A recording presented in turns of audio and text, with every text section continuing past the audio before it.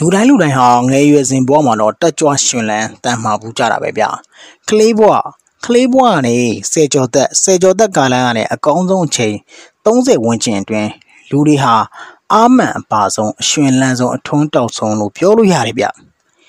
သင်ဟာအခုအဲ့ဒီအရွယ်ဖြစ်ကောင်းဖြစ်နေလိမ့်မယ်သင်ရဲ့မိဘတွေကလည်းအဲ့ဒီအရွယ်ကိုဖြတ်တန်းခဲ့တယ်ဒါမဲ့နောက်နှစ်50ကြာရင်ကိုကိုကိုပြန်ကြည့်လိုက်တဲ့ခါကျရင်ဘလို့ပြန်မြင်နေမလဲ သင်ရဲ့မိဘတွေကတော့အခုအဲ့ဒီအရွယ်ရောက်နေပါပြီဒီအကြောင်းအရာလေးကိုကဘာကျော်ဓာတ်ပုံဆရာတွမ်ဟာစီဆိုသူကစိတ်ကူးကောင်းကောင်းနဲ့ပုံဖော်ထားတာဗျငယ်ဘွားရဲ့အမတ်တရားတွေကိုတဲ့ပြန်လဲထင်ဟပ်လာအောင်ရိုက်ကူးပုံဖော်ထားတာပါဓာတ်ပုံဆရာကပြောပါတယ်ဘလောက်ပဲအသက်ကြီးကြီးပါဗျာတဲ့မှန်ထဲမှာကိုကိုကိုမြင်လိုက်တဲ့အချိန်တိုင်းငယ်တုန်းကလိုမျိုးပဲထင်မိပါတယ်တဲ့ကျွန်တော်ကသူ့ရဲ့စိတ်ကူးလေးတွေကိုပြန်ပြီးမျှဝေပေးတာပါ ဒါကတော့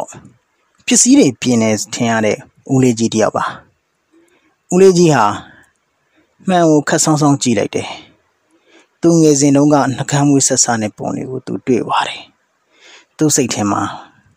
ဘလို့ဖြစ်သွားမလဲဝမ်းနဲ့ဝမ်းသာဖြစ်သွားမှာပေါ့ခင်မီကချမ်းသာတဲ့အမျိုးသမီးကြီးတူဝတ်တာစားတာနေထားတိုင်းတာလုံးဝ luxury type ပဲဗျ အသက်80ဝန်းကျင်ရှိတဲ့အမျိုးသမီးကြီးဟာကြည့်မှန်လေးကိုလှမ်းကြည့်လိုက်တယ်သူမစိတ်ထဲမှာအသက်20ဝန်းကျင်မျက်ခုံးကောင်းကောင်းနဲ့မဟာနှစ်ဖူးပိုင်ရှင်မိမချုံလေးတယောက်ကိုတွေ့ရပါတယ်။သင်မိခင်နဲ့တစ်ချိန်လုံးကအဲ့ဒီလိုမျိုးပါ။တရုတ်ဖိုးတူဘေးနားမှာသူ့ရဲ့သမီးဖြစ်သူကတော့သူ့ကိုသွားတိုက်စေတဲ့တပုတ်တန်နဲ့ပြီးဖို့ဆောင်လို့တရုတ်ဖိုးဟာမှန်ကိုရုတ်တရက်ကြည့်လိုက်တယ်။ အော်လွန်ခဲ့တဲ့နှစ်40ကျော်လောက်က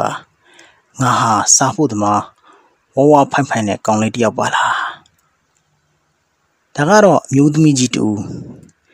အမျိုးသမီးကြီးဟာဂုံယူစွာနဲ့မှန်ကိုကြည့်လိုက်တယ်သူမဟာတစ်ချိန်တစ်ခါကသူ့နောက်ကစန်ဒီယာကြီးကိုဂုံယူဝင်ကြောစွာနဲ့တိခတ်ခဲ့တာကိုပြန်ပြီးအမှတ်ရနေပါပါလူငယ်တွေနဲ့အပြိုင်ကျမ်းမာရေးလှုပ်ရှားတက်ကြွနေတဲ့အဖိုးတူအဖိုးဟာ အသက်80ကျော်အရွယ်လောက်ရှိနေပါပြီအဖိုးကိုလမ်းလျှောက်နေတော့ဘေးနားကမှန်ကိုရုတ်တရက်ကြည့်လိုက်တယ်။ဘေးနားကမှန်ကလည်းယူပါဖြောင်းဖြောင်းအကစားသမားတူကသူ့ကိုလှမ်းကြည့်ပြီးမခုတ်တရုံနဲ့နေနေတယ်။ဒီဖိုးကိုစိတ်ထဲမှာအဲငယ်ငယ်တော့ငါကအတော်လန်းခဲ့တာပါလားဟာ။အဲ့ဒီလိုထင်သွားနိုင်တယ်ပါလေ။အဖွားကိုတူ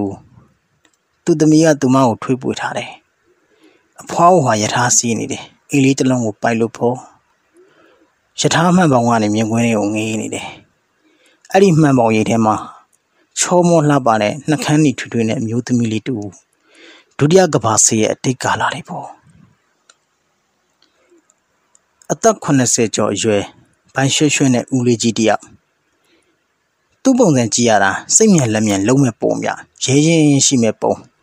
ပြောရရင်တော့ကျွန်တော်အဖေလိုပေါ့ဗျာသူဟာမှန်ကိုကြည့်လိုက်တယ်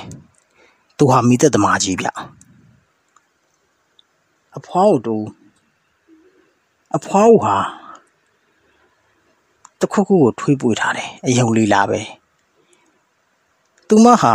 ခွဲခန့်တဲ့တဲကကလေးတွေတီးတန့်ထားတဲ့ဝက်ထဲကကလေးလေးကိုလှမ်းကြည့်နေတယ်တစ်ချိန်တည်းမှာပဲအဲ့ဒီအခန်းထဲကမှန်ထဲမှာအမျိုးသမီးတယောက်ကလည်းကလေးလေးကိုပွေးလို့သူမကိုကြည့်နေတယ်လွန်ခဲ့တဲ့နှစ်40လောက်ကသူမလေတဲ့အမေလည်းတင့်ကိုမွေးတော့အဲ့ဒီလိုဖြစ်မှာပါ အဖိုးတူလမ်းဘေးကော်ဖီဆိုင်လေးမှာထိုင်တောက်နေတယ်ဘေးနားမှာသူ့ရဲ့သမီးကအဖော်လုံးလို့ကော်ဖီဆိုင်လေးကနေသူဟာကဘာကြီးကိုတင်ချတွက်သူပတ်ခဲ့တဲ့တင်ချပညာရှင်တယောက်ငငယ်တုန်းကဖြစ်ခဲ့တာပေါ့စေးုံခန်းတွေကဖွားအိုလမ်းလျှောက်ဖို့တော့မှခက်ခက်ခက်ခဲရှောက်နေရတယ်နှစ်ချောင်းတော့နေသူမမျက်နှာတက်နေတယ်တစ်ချိန်လုံးကသူမကလည်းအဲ့ဒီစေးုံကနတ်စမချောချောလေးပြ ကော်ဖီဖြော်နေတဲ့ခါကိုင်ကိုင်နှာရောင်ကောက်ကောက်နဲ့အဖိုးယူဒီဆရာကြီးဟာလည်းငယ်စဉ်ချိန်ကတေချာကြည့်တော့သိပ္ပံပညာရှင်တယောက်ဗျာယူပါဖြောင်းဖြောင်းမျက်မှန်တယ်ဗျိုတရုတ်ဖွားကိုတူအဖွားဟာကြောက်စိမ့်လက်ကောက်တွေကိုဘယ်လက်မှာဝတ်ထားတယ်စာအိုးလီပေါ်လက်တင်လို့မှန်ကိုရုတ်တရက်ကြည့်လိုက်တော့မှန်ထဲမှာသူမကို မမထန်ထန်ပြန်ကြည့်နေတဲ့အကျော်တင်တင်ချက်ခတ်ချောချောတရုတ်မလေးတယောက်ပြိုအဖိုးအိုတူတက္ကသိုလ်ကပမောက္ခကြီးလည်းဖြစ်နိုင်ပါတယ်သူမှန်ကိုကြည့်လိုက်တယ်သူဘွဲရနေတယ်ချမ်းသာတဲ့အဖွားအိုတယောက်သူမဟာမှန်တင်ငုံရှိထိုင်လိုက်တယ်သေချာကြည့်လိုက်တယ်လွန်ခဲ့တဲ့နှစ်90က အဲ့ဒီနေရာမှာအလွန်ချောတဲ့အမျိုးသမီးတယောက်ထိုင်နေတယ်အသက်80ကျော်ရွယ်အဖိုးအိုသူမျက်နှာတစ်ဖို့အတွက်လှမ်းလာတယ်ရေကိုဖွင့်ဖို့လုပ်တယ်မှန်ကိုရုတ်တရက်ကြည့်လိုက်တယ်သူ့ကိုပြန်ကြည့်နေတာကယောက်ျားပိတာမေယုကကနဲ့ခံညာတဲ့စစ်သားတယောက်ဒုတိယကဘာစစ်တုံးကကိစ္စတွေကိုသူပြန်တတိရနိုင်မလားသင်မိပါတယ်လေတစ်ချိန်တစ်ခါကအဲ့ဒီလို ငယ်ရွယ်နှူးပြိုတဲ့ဘဝကိုဖျက်ဆီးခဲ့တယ်ဆိုတာမမေ့ပါနဲ့လို့ပြောချင်ပါတယ်ဗျာ။